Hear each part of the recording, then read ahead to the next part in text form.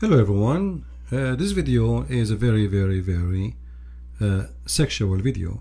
So we will not mention the name of the Lord in it because it doesn't fit here. So what we will talk about is not belly dancing for sure. We will talk about Allah and his amazing wisdom.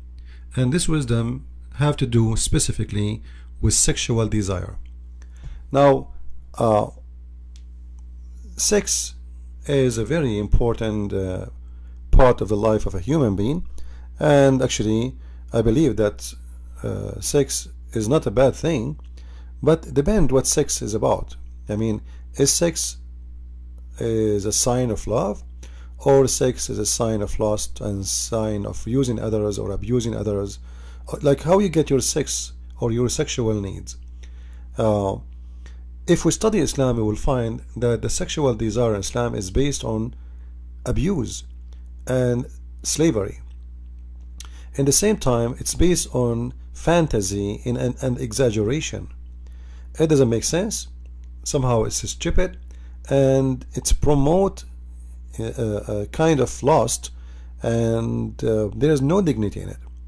Now, for sure, many of you, you know, you are wondering, uh, especially if you are a Muslim, why I'm saying so. If we go and read uh, this hadith as an example.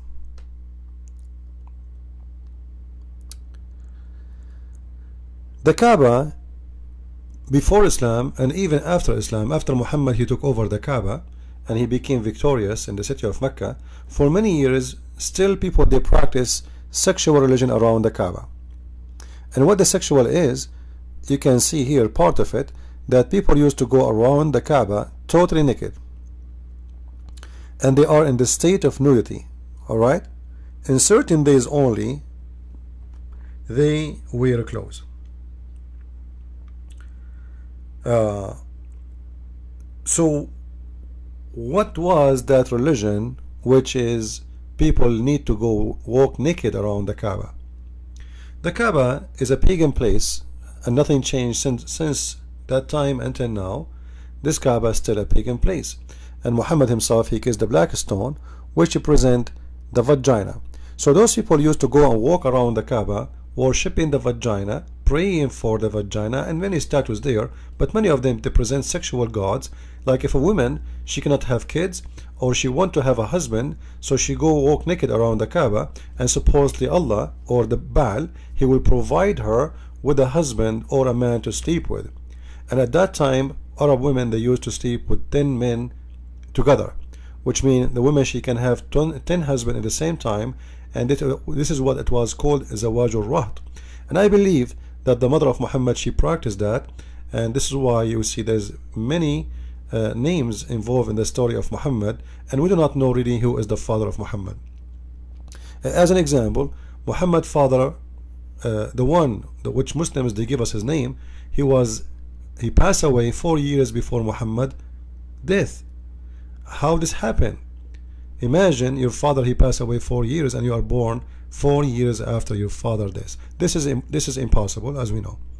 The only explanation that the mother of Muhammad used to practice what is called Zawajul Rahat Zawajul Rahat which is one woman more than one husband they can go up to 10 husbands and when she get pregnant she is the one who choose who was the husband and Arab at that time used to believe that a woman she can be pregnant from husband from years ago. They have their own uh, legions and their own belief. And Muhammad he promoted this idea after his birth. This is why you will see that it says in, in many Islamic books that a woman can be pregnant up to 10 years. And most of the scholars they agree with four years. And for sure this is this is absolutely false. But just to cover what happened with Muhammad. So people used to go and practice such a sexual practice around the Kaaba as you see and then they go you will see the the Kaaba have a black stone and this black stone resemble a vagina. And this vagina simply is a vagina of the goddess who provide human and the human race with babies. This is why like you know can you ask yourself why why the stone is shaped this way? It must be there is a reason you know, the stone is not shaped by itself. Somebody shaped the stone in, in, in, in, in, in such a way. And they cover it with the frame uh, uh, from outside as you see. But in, in inside it's a stone. It's a black stone. So it's framed in in the shape in the same shape. And the shape is so clear it's a shape for a private part of a woman. And Muhammad as long as he is a copy paste of all the religions he come with with things which prove and continue the sexual religion he follow. The God who provide you with a lot of sex and a lot of sexual power. So here the nudity around the Kaaba now is explained and why they have the black stone. And then Muhammad when he continued with his religion he said uh, that Allah he will give the Muslims uh, let us zoom in. Maybe we can make it uh, uh bigger all right so what Muhammad is saying to you here that in the heaven of Allah Allah will give every Muslim 70,000 column or let us say bow of gold and uh, and uh, diamond or whatever rubies and then in each door in each gate there's one woman waiting for you which means the total will be at least 70,000 only if you do jihad for 40 days. But Muhammad he knew that this story will not make sense because how a man anyway like what the point of getting me all those women if I cannot have sex with all of them? So Muhammad he thought of a solution to make that more convincing to his dummy followers who they are obsessed with sex and wine and river of wine. This is why you see the heaven of Islam. There's wine the river of wines river of drinks river of milk river of uh, you know. So it, it's exactly what those Bedouin they love. White women you know remember that those women are very wide, they are not just women. So you will have 70,000 women for every 40 days you fight which means if you fight for 80 days uh, the, the, the number will be double will be 140,000 women. If you fight for 20 uh, uh, uh, uh for sorry for 120 uh, days then the the number will be 210,000 etc etc so you can reach to millions like Osama bin Laden was fighting for 20 years doing jihad. So you can imagine how many million women Osama bin Laden is going to have in his bedroom. But how Osama bin Laden is going to excuse my language if those women? And I say the word if because he is not having any relationship with them. Those are women just created for sex. The purpose of it is just pure pure sex. This is an if religion. All right? So Muhammad looked like he been asked, okay, how we can sleep with them if we cannot do more than one or two or three? So Muhammad, he come with the answer. Muhammad, he promised them that when they go to the heaven, Allah, he will give each one of them a penis who will never go limp, soft, or, or, or, or flat.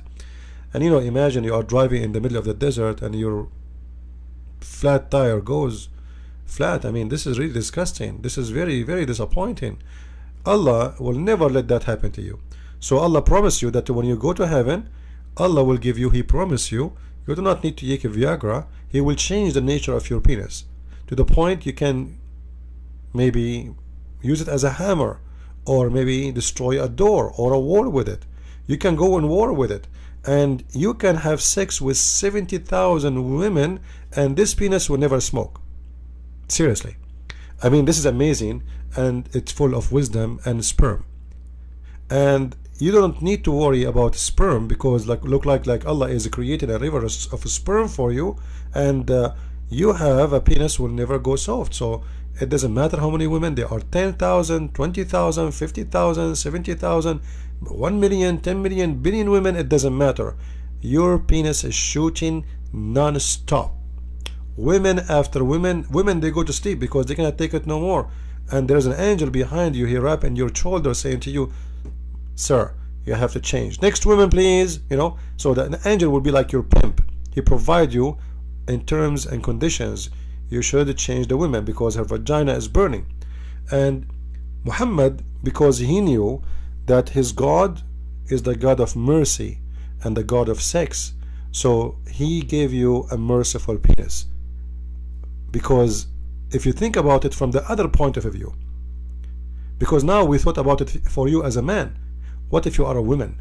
Imagine Allah he created 70,000 women for you and then those women you can do only three women a day.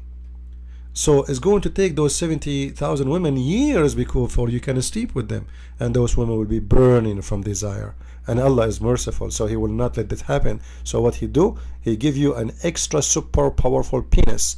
You know, you know like no never ever any God can provide you with such a thing except Allah and mashallah. I mean this is astonishing and if you are not convinced to convert to Islam at least think about your penis future and sign now before it's too late. Because the number of Viagra we have is limited and we cannot give Allah cannot not, Allah will not give such a penis for everybody.